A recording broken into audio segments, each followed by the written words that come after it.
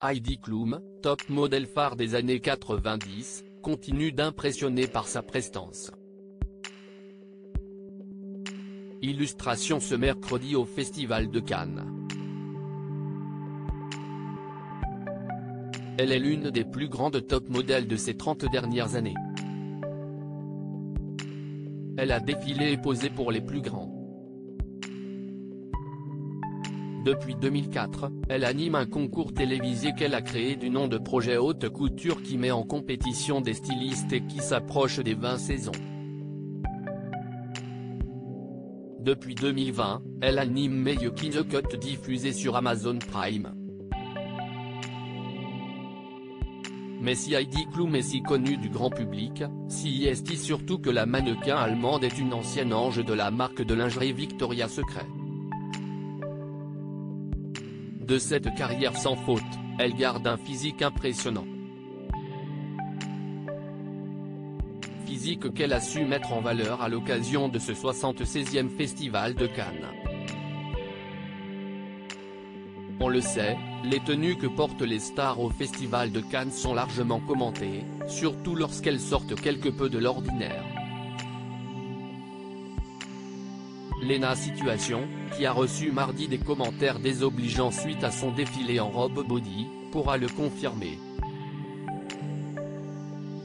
Une robe fendue à découpe et diamants mais Heidi Klum, habituée à présenter des toilettes originales, n'a eu que faire des remarques qui ont pu être faites à son sujet ce mercredi lors de la montée des marches du film La Passion de Dodin Bouffant, du réalisateur français d'origine vietnamienne Tran Anh elle portait une robe longue jaune présentant un effet châle aux épaules se déployant en aile majestueuse, façon manche de chauve-souris, lorsque les bras se lèvent. La robe choisie par la mannequin, apparemment ornée de diamants, avait aussi la particularité de présenter un décolleté cut-out, c'est-à-dire avec des découpes, en l'occurrence sous la poitrine et au niveau du ventre. Les plus observateurs auront d'ailleurs remarqué que la star avait frôlé l'axide de décolleté, à l'image de Sophie Marceau en 2016 au même festival. Pour finir, la création du styliste libanais Zuher Mourad était fendue d'un côté tout du long de la jambe. La même soirée, le couturier habillait l'actrice Kate Beckinsale et a prêté des robes à d'autres stars féminines depuis le début du festival. Juliette Binoche et Benoît Magimel star du jour une tenue qui a visiblement rendu fière la top modèle de 49 ans, ex du chanteur Seal désormais marié à Tom Collitz, le guitariste du groupe allemand de rock Tokyo Hotel de 16 ans son cadet, depuis 2019. Celle-ci a publié trois photos de son look sur son profil Instagram.